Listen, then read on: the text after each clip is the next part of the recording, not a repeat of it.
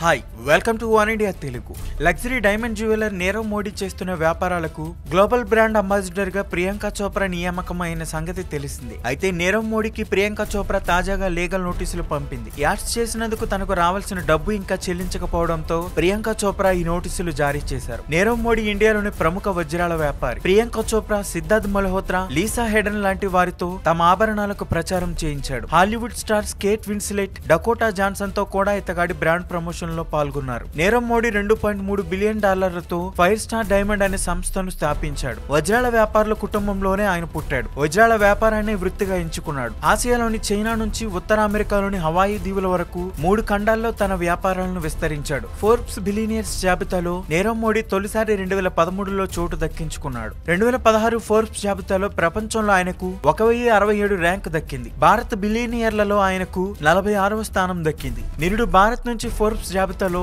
ఎనభై రెండవ ర్యాంకు పొందాడు. రెండు వేల పదిహేడులో ఆయన భారత్లో యాభై ఏడవ స్థానం దక్కించుకున్నాడు. గత పది రోజుల వరకు నీరవ్ మోడీపై ఎవరి దృష్టి పడలేదు. పంజాబ్ నేషనల్ బ్యాంక్ సిబిఐకి ఫిర్యాదు చేయడంతో ఆయన పేరు వెలుగులోకి వచ్చింది. నీరవ్ మోడీ శక్తివంతమైన వ్యాపారవేత్త రాజకీయ నాయకుడు వజ్రాల కొనుగోలుదారు. బ్యాంకును దాదాపు రెండు వందల ఎనభై కోట్ల మేర మోసం చేశారనే ఆరోపణతో నీరవ్ మోడీపై ఫిబ్రవరి ఐదవ తేదీన సిబిఐ కేసు నమోదు చేసింది. అయితే పంజాబ్ నేషనల్ బ్యాంకుకు నీరవ్ మోడీ వేల కోట్ల రూపాయలు శటకోపం పెట్టాడు. అతడి మోసం వెలుగులోకి వచ్చేలోపే నీరవ్ మోడీ విదేశాలకు పారిపోయాడు. ఈ విషయం తెలిసి ప్రియాంక చోప్రా తన లాయర్ ద్వారా అతడికి లీగల్ నోటీసులు పంపారు. ప్రియాంక చోప్రాకు కొన్ని కోట్ల రూపాయలు నీరవ్ మోడీ నుండి రావాల్సి ఉందని తెలుస్తోంది. ప్రియాంకతో పాటు పలువురు బాలీవుడ్ ప్రముఖులను కూడా నీరవ్ మోడీ తమ వ్యాపార ప్రచారానికి వాడుకుని డబ్బు ఎక్కొట్టినట్లు సమాచారం.